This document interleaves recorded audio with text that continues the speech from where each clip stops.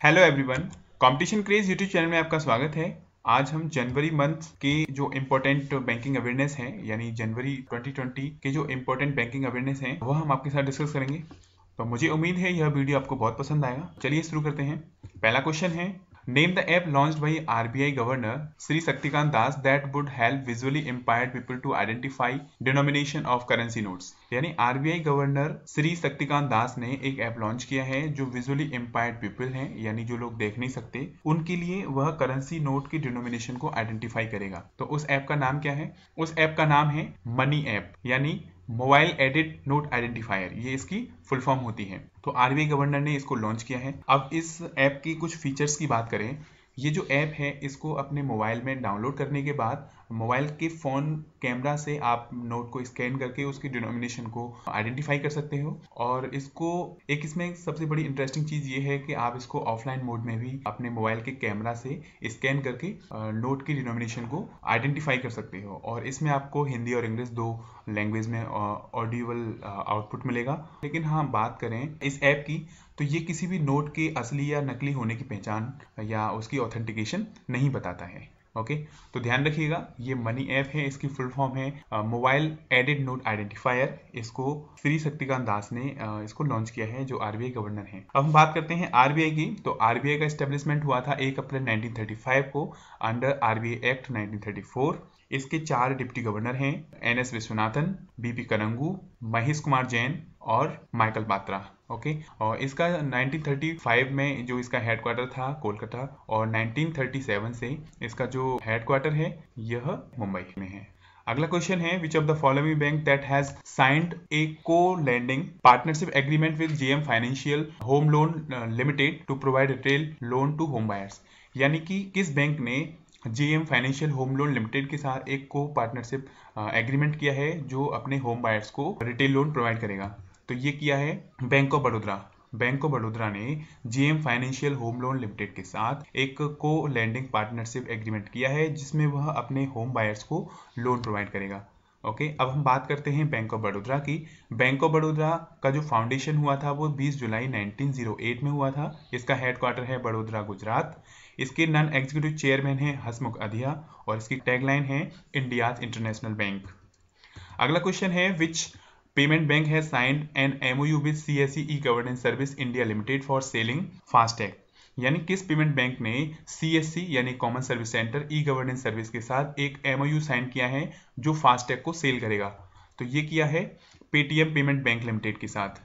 यानी कि Paytm payment bank limited के साथ C S E governance service ने एक एमओयू यानी मेमोरेंडम ऑफ़ अंडरस्टैंडिंग साइन किया है, जिसमें वह फास्टैग को सेल करेगा। अब बात करते हैं पेटीएम पेमेंट बैंक की। तो ये एक मोबाइल बेस्ड बैंक है जो आपके डिजिटल ट्रांजेक्शन को कराती है और ये ज़ीरो बैलेंस पे आपके अकाउंट ओपन करती है ओके और इसका जो, इसके जो चेयरमैन हैं विजय शेखर शर्मा और चीफ एग्जीक्यूटिव ऑफिसर और मैनेजिंग डायरेक्टर हैं सतीश कुमार गुप्ता। सतीश कुमार गुप्ता। पेटीएम का जो हेडक्वार्टर है, नोएडा है, नोएडा यूपी अगला क्वेश्चन है What is the interest rate of Sukanya Samriddhi account for the fourth quarter of the financial year 1920 starting from January 120 March 31st 2020 यानी सुकन्या समृद्धि योजना या जो अकाउंट है उसमें कितनी इंटरेस्ट रेट है फाइनेंशियल ईयर 19-20 के चौथे क्वार्टर में जो 1 जनवरी 2020 से 31 मार्च 2020 तक है तो इसके लिए जो इंटरेस्ट रेट है ये है 8.4 परसेंट यानी सुकन्या समृद्धि अकाउंट की फाइनेंशियल ईयर 2019 के फोर्थ क्वार्टर में जो इंटरेस्ट रेट है वो 8.4 परसेंट है। अब हम कुछ और जो सेविंग स्कीम की जो एनुअल इंटरेस्ट रेट हैं उसको, उसके बारे में जानते हैं। तो देखो, एक है पीपीएफ यानी पब्लिक प्रोविडेंट फंड ये 7.9 परसेंट है। नेशनल सेविंग सर्टिफिकेट जो एनएससी होती है, ये 7.9 परसेंट किसान विकास पत्र केवीपी ये 7.6 परसेंट और इसका जो मेच्योरिटी पीरियड है तेरह महीने में इसकी मेच्योरिटी हो जाती है। सुकन्या समृद्धि योजना, इसमें आठ दशमलव चार परसेंट है। और जो सीनियर सिटीजन की फाइव ईयर की जो स्कीम है सेविंग की, उसमें आपको, यानी जो एफडी है, उसमें 8.6 परसेंट मिलता है। सेविंग डिपॉजिट्स में 4 परसेंट और जो टर्म डिपॉजिट जो एक साल से पाँच साल की मेच्योरिटी होती है, उसमें आपको 6.9 परसेंट से 7.7 परसेंट का इंटरेस्ट रेट मिलता है। और जो रिकरिंग डिपॉजिट होते हैं पाँच साल के लिए, उसमें 7.2 परसेंट आपको इंटरेस्ट रेट मिलता है। ये ये जो इंटरेस्ट रेट हैं, ये fourth quarter financial year nineteen के लिए हैं।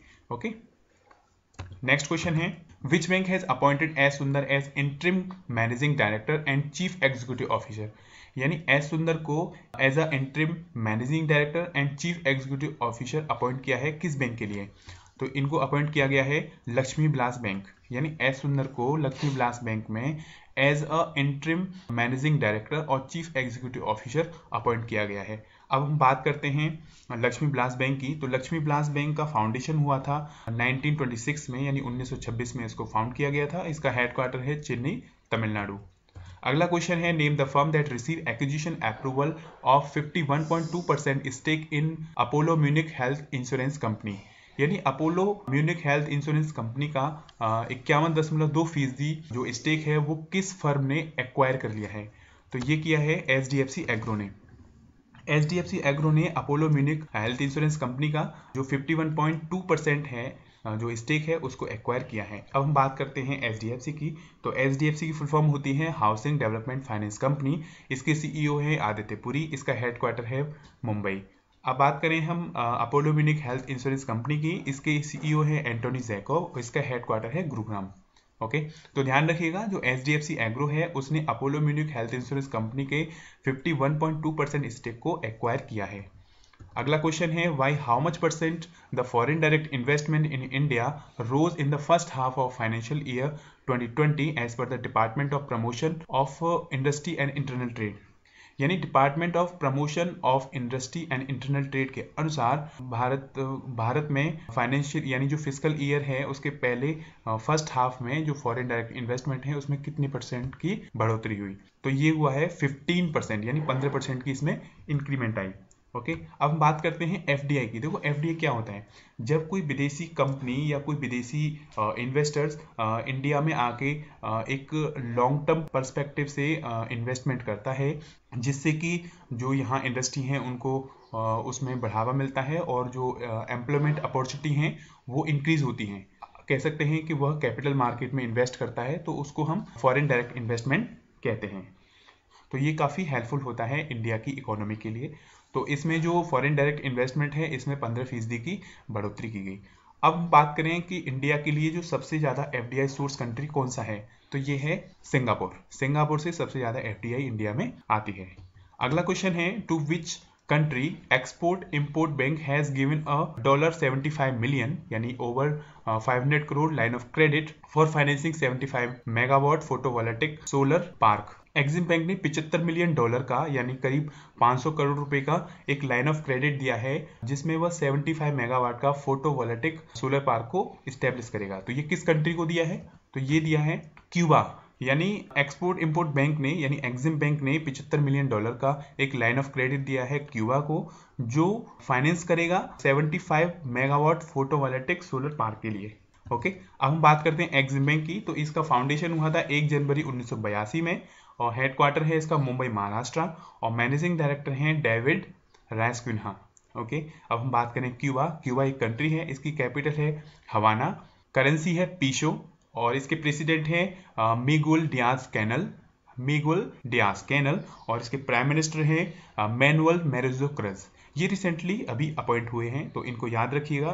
क्यूबा के प्राइम मिनिस्टर हैं मैनुअल मेरेरो क्रज ओके अगला क्वेश्चन है name the firm that has partner with PNB MetLife India insurance company to provide life insurance to its customer यानी PNB Met Life India insurance company ने एक firm के साथ partnership किया है, जो अपने ग्राहकों को लाइफ इंश्योरेंस यानी जीवन बीमा प्रोवाइड करेगा। तो ये किस फर्म ने किया है? पार्टनरशिप तो ये किया है रेफिन सर्विस इंडिया लिमिटेड ने। यानी रेफिन इंडिया सर्विस प्राइवेट लिमिटेड ने पीएनबी मेटलाइफ इंश्योरेंस कंपनी के साथ एक पार्टनरशिप की है, जिसमें वह अपने ग्राहकों को जीवन बीमा प्रोवाइड करेगा। ओके अब हम बात करें रेफिन की। तो रेफिन का ये जो कंपनी है, इसका फॉर्मेशन हुआ था 16 मार्च 2018 में। इसका हेडक्वार्टर है न्यू दिल्ली और इसके सीईओ है समीर अग्रवाल। ओके और PNB Met Life India insurance की बात करें तो ये 2001 में इसको फाउंडेशन किया गया था और इसका हेडक्वार्टर मुंबई महाराष्ट्र में है। इसके एम डी सीईओ है आशीष कुमार श्रीवास्तव। अगला क्वेश्चन है what is the foreign exchange reserve of India on 27 December 2019 as per the RBI यानी reserve bank of India bulletin weekly statistical supplement extract यानी आरबीआई का एक डेटा है जो रिलीज़ करता है bulletin weekly statistical supplement extract के माध्यम से। उसमें उन्होंने बताया कि 27 दिसंबर 2019 को जो फॉरेन एक्सचेंज रिज़र्व है, वो कितना है? तो वो है आपका 457.468 बिलियन डॉलर यानी भारत के पास 27 दिसंबर 2019 को आरबीआई की bulletin weekly statistical supplement extract के अनुसार जो फॉरेन एक्सचेंज रिज़र्व है, वो है चार बिलियन डॉलर। ओके, याद रखना ये डिजिट वो काफ़ी इंपॉर्टेंट है। आपके बैंकिंग एग्ज़ाम में ये जो डिजिट्स हैं, ये एग्जैक्ट पूछ ली जाती हैं। तो जो फॉरेन एक्सचेंज रिज़र्व है, इसका जो अमाउंट है, ये चार सौ सत्तावन दशमलव फोर सिक्स एट बिलियन, यानी four hundred fifty seven point four six eight billion dollar. Okay next question है which bank has launch the new adoption assistant programme that have financial assistant of up to rupees one lakh per adoption for the parents यानी किस bank ने एक नया adoption assistant programme को launch किया है, जो पेरेंट्स को फाइनेंशियल असिस्टेंट प्रोवाइड करेगा एक लाख रुपए तक का? जब वह अडेप्शन करेंगे। तो ये है, ये किया है पेपाल इंडिया प्राइवेट लिमिटेड ने। यानी पेपाल इंडिया प्राइवेट लिमिटेड ने एक न्यू एडप्शन असिस्टेंट प्रोग्राम चलाया है, जिसमें पेरेंट्स को एक लाख रुपए तक का फाइनेंशियल असिस्टेंस प्रोवाइड किया जाएगा। ये किया जाएगा न्यू एडप्शन असिस्टेंट प्रोग्राम के अंतर्गत। ओके अब हम बात करते हैं पेपाल इंडिया की। इसका फॉर्मेशन हुआ था 2017 में, यानी 2017 में। इसका हेडक्वार्टर है वर्तूर, कर्नाटक। अगला क्वेश्चन है which firm has signed MOU यानी memorandum of understanding with Hindustan aeronautics limited to make aerospace components यानी किस फर्म ने हिंदुस्तान एरोनॉटिक लिमिटेड के साथ एक एमओयू साइन किया है, जो एरोस्पेस कंपोनेंट बनाने में हेल्प करेगा? तो ये किया है Wipro three D. Wipro three D ने एच के साथ जो एरोस्पेस कंपोनेंट हैं उनको बनाने के लिए हेल्प करेगा। अब हम बात करते हैं एचएएल की, यानी हिंदुस्तान एरोनॉटिक्स लिमिटेड की। ये फाउंड हुई थी 1940 में। इसका पहले नाम था हिंदुस्तान एयरक्राफ्ट जो एच थी जब ये 1940 में जब इसको फाउंड किया गया था। तो इसका नाम था हिंदुस्तान एयरक्राफ्ट और उन्नीस सौ चौंसठ, यानी 1964 में इसको हिंदुस्तान एरोनॉटिक्स लिमिटेड किया गया। ओके, इसका हेडक्वार्टर है बेंगलोर, कर्नाटक में। इसके चेयरमैन और मैनेजिंग डायरेक्टर हैं आर माधवन। ओके, हम बात करें विप्रो थ्री की, इसका हेडक्वार्टर है बेंगलुरु, कर्नाटक, और ये फाउंड हुआ था 2012 में, ओके।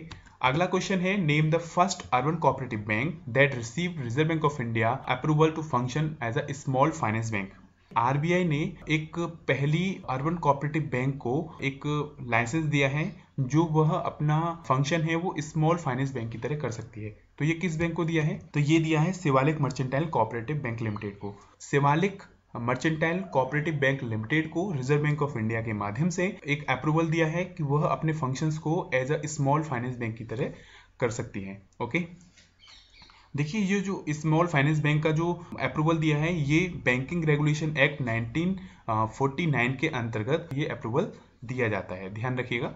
अब बात करें शिवालिक मर्चेंटाइल बैंक लिमिटेड की। ये एक इंडिया का मतलब लार्जेस्ट अर्बन कोऑपरेटिव बैंक है। ओके? ये स्टेब्लिश हुआ था 5 सितंबर 1998 में, सहारनपुर, उत्तर प्रदेश में, ओके? और इसको रजिस्टर किया गया था multi state cooperative society act 2002 के अंतर्गत। और इसने एक्विजिशन किया था जो मध्य प्रदेश की धार बैंक है, उसका इसने एक्वायर किया था 2010 में, और इसने एक मल्टी स्टेटस बैंक का स्टेटस भी प्राप्त किया। और इसके चेयरमैन हैं यशवीर कुमार गुप्ता। यशवीर कुमार गुप्ता। अगला क्वेश्चन है प्राइमरी यानी cooperative bank will be kept under supervisory action framework if net non performing assets exceed how much percent यानी आरबीआई ने एक सुपरवाइजरी एक्शन फ्रेमवर्क को बनाया है, जिसमें जो अर्बन कोऑपरेटिव बैंक हैं ओके उनको अपना जो नॉन परफॉर्मिंग असेट्स है, वो कितने परसेंट से एक्सीड नहीं होना चाहिए ओके यदि कितने परसेंट से एक्सीड होता है तो उनके ऊपर सुपरवाइजरी एक्शन फ्रेमवर्क को लगाया जाएगा। ठीक है? तो ये है आपका सिक्स परसेंट देखिए, हम बात करते हैं जो अर्बन कोऑपरेटिव बैंक्स होती हैं। यदि इनका non performing assets six percent से ऊपर जाता है तो आरबीआई के माध्यम से इनकी जो फंक्शनिंग है, उस पर सुपरवाइजरी एक्शन फ्रेमवर्क को लगाया जाएगा ओके तो काफ़ी बैंक को रिस्ट्रिक्शंस जो है लगा दिए जाएँगे और उनको रिस्ट्रिक्शंस के अंतर्गत अपने जो फ़ंक्शन है, इनको फॉलो करना पड़ेगा। कितना परसेंट से एक्सीड नहीं होना चाहिए? सिक्स परसेंट से। अब हम बात करते हैं एनपीए होता क्या है? देखिए एनपीए क्या होता है? जब बैंक किसी भी कस्टमर को लोन या एडवांस देती है ओके और उसका रिटर्न 90 डेज़ के अंतर्गत उसका प्रिंसिपल या उसका इंटरेस्ट नहीं आता है तो उसको हम as a non performing assets के रूप में जानते हैं ओके इसका हम एक लेक्चर लेके आएँगे आपके लिए नॉन परफॉर्मिंग असेट्स के लिए ओके जो हम पूरा डिटेल में उसको डिस्कस करेंगे।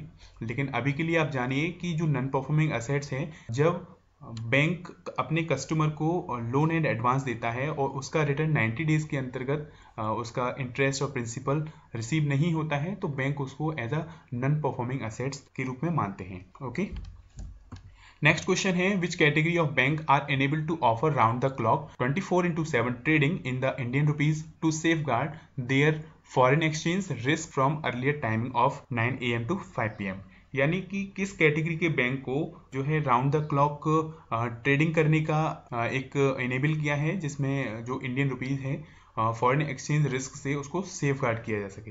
पहले उसकी टाइमिंग थी सुबह नौ बजे से पाँच बजे तक। तो ये किस कैटेगरी के बैंक है उनको राउंड द क्लॉक ट्रेडिंग करने की सर्विस प्रोवाइड की है? तो ये है authorise dealer category one bank okay तो जो मतलब कैटेगरी वन के अंतर्गत जो बैंक्स आते हैं, उनको ये अथॉरिटी दी है। यानी कि देखो, इसका मेन पर्पज़ क्या है? इसका मेन पर्पज़ है कि जो इंडियन रुपीज़ है, जो फॉरेन एक्सचेंज का जो रिस्क होता है, उससे कैसे सेफ़ गार्ड करें ओके तो पहले सेफ़ गार्ड करने के लिए सुबह नौ बजे से पाँच बजे तक जो इंडियन रुपीज़ है, उसकी मॉनिटरिंग की जाती थी।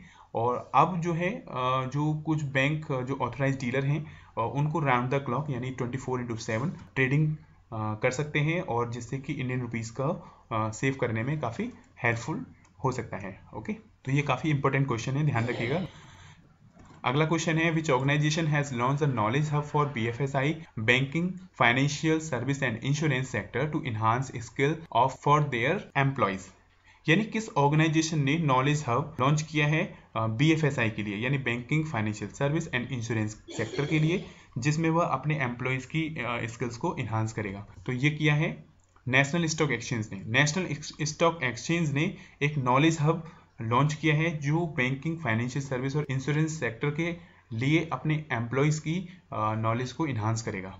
ओके अब हम बात करते हैं नेशनल स्टॉक एक्सचेंज की। नेशनल स्टॉक एक्सचेंज का फाउंडेशन हुआ था 1992 में और इसका जो हेडक्वार्टर है मुंबई। ओके तो ध्यान रखिएगा, जो एन ने लॉन्च किया है नॉलेज हब अपने एम्प्लॉयज़ की जो स्किल्स है उसमें इम्प्रूवमेंट लाने के लिए। अगला क्वेश्चन है who chair the second edition of the national GST यानी goods and service tax conference of the commissioners of state tax and chief commissioner of central tax that held in New Delhi यानी GST की जो meeting हुई थी, उसका second edition हुआ, जिसमें conference of commissioner of state और chief commissioner of central tax के उन्होंने मीटिंग की। तो उस मीटिंग को किसने चेयर किया? यानी किसने उसको उस मीटिंग के कौन हेड थे? ओके और ये जो मीटिंग है, ये दिल्ली में इसको ऑर्गेनाइज किया गया। तो इसके हेड थे अजय भूषण पांडे। अजय भूषण पांडे ने जो दूसरा एडिशन हुआ है नेशनल जीएसटी का GST conference of commissioner of state tax और chief commissioner of central tax okay तो इसका सेकेंड एडिशन दिल्ली में आयोजित किया गया। इसको जो लीड किया था, वो अजय भूषण पांडे ने। नेक्स्ट है आपका। Name the organization that has release the first advance estimate of the national income at both constant 2011-12 and current price of financial year 1920 okay उस ऑर्गेनाइजेशन का आपको नाम बताना है, जिसने पहला एडवांस एस्टिमेट नेशनल इनकम को रिलीज़ किया है, जो 2011-12 के अनुसार और करंट प्राइस फाइनेंशियल ईयर 2019-20 के अनुसार। तो ये किया है नेशनल स्टेटिकल ऑफ़िस ने। नेशनल स्टेटिकल ऑफ़िस ने। एक्चुअली क्या है पहले 2011-12 को किसी भी आ, कोई भी जीडीपी हम आ, निकालते थे तो उसका बेस ईयर हम आ, 2011 और 12 मानते थे। तो उसके लिए उन्होंने एक एडवांस एस्टिमेट किया है नेशनल इनकम को जो प्राइजेस हैं उनको हम एस्टिमेट कर सकें ओके तो 2011-12 और 2019-20 तो ये किया है नेशनल स्टेटिकल ऑफ़िस ने ओके जो नेशनल स्टेटिकल ऑफ़िस है इसको हम पहले सीएसओ के नाम से जानते थे यानी सेंट्रल स्टेटिकल ऑफ़िस ओके? अब इसका नाम कर दिया है नेशनल स्टेटिकल ऑफ़िस इसमें सीएसओ और एनएसएसओ को भी मर्ज किया है। उसका एक नाम बताया है नेशनल स्टेटिकल ऑफ़िस ये जो है, जो इंडिया की जो एम्प्लॉयमेंट रेट है, ओके, और जो नेशनल इनकम है, इनको ये फाइंड करता है, ओके? यानी उनकी रिपोर्ट जारी करता है। नेक्स्ट क्वेश्चन है why how much percent of the revenue sector of India will grow annually and expected to reach dollar one twenty billion in twenty twenty यानी रेवेन्यू सेक्टर ऑफ़ इंडिया में उसने कितना percent growth कर रहा है? और जो 2020 में 120 बिलियन डॉलर पर पहुँच जाएगा, यानी ये एक्सपेक्टेशन क्या है। तो कितना परसेंट इसमें इंक्रीज कर रहा है? तो ये कर रहा है 51 परसेंट यानी जो इंडिया का जो रेवेन्यू सेक्टर है, उसमें इक्यावन फ़ीसदी की बढ़ोतरी हो रही है, जो 2020 में करीब 120 बिलियन डॉलर पे पहुँचने की संभावना है। तो ध्यान रखिएगा 51 परसेंट अगला क्वेश्चन है what is the rank of Indian passport in the Henley passport index to 2020 release by Henley and partners एक रिपोर्ट जारी की हैंडली एंड पार्टनर्स ने, जिसमें जो हैंडली पासपोर्ट इंडेक्स 2020 में इंडिया के पासपोर्ट की रैंक क्या है? तो इंडिया के पासपोर्ट की रैंक है 84 यानी जो एक हैंडली एंड पार्टनर्स एक कंपनी है, जो हैंडली पासपोर्ट इंडेक्स जारी करती है तो 2020 के लिए इंडिया के जो पासपोर्ट है इंडियन पासपोर्ट है, उनकी रैंकिंग क्या है?